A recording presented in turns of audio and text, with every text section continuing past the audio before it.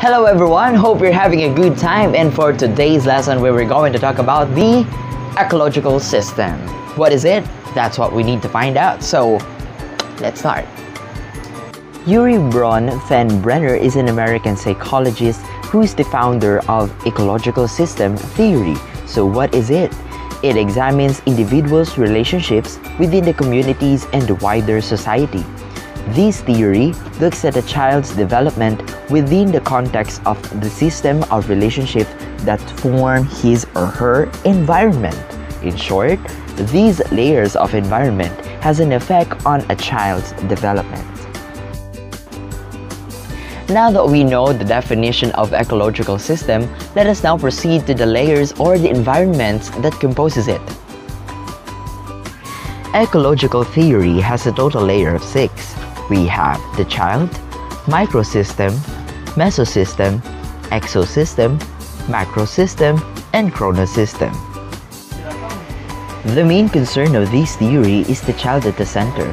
It represents you, me, and every one of us that possesses age, gender, skills, knowledge, and personal characteristics which says affected by the following layers or environment. Next to it is microsystem. This involves the persons who are near you or the child. It can be your parents, friends, teachers, neighbors, or anyone who can easily communicate with you.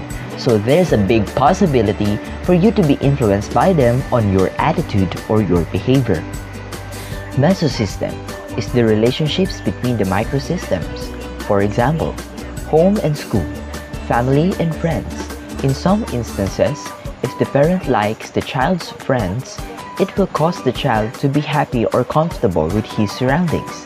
As what we've said, it is the relationships between the person in microsystems, the mother, and the child's friend. Exosystem relationships that may exist between two or more settings, one of which may not contain the developing child but affects him indirectly nonetheless.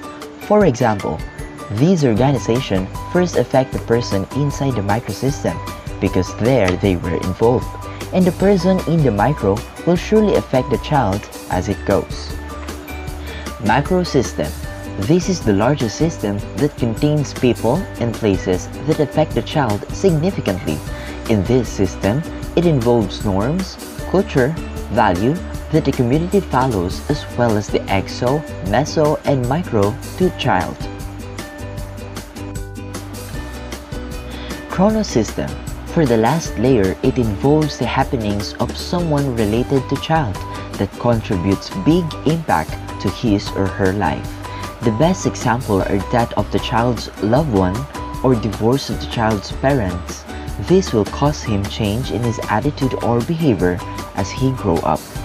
To summarize it all, ecological theory just present that the environment surrounding a child contribute a lot in building their character or as a person growing up. Alright, and that is ecological system. Did you learn something? Well, I hope so. See you on our next session. Goodbye!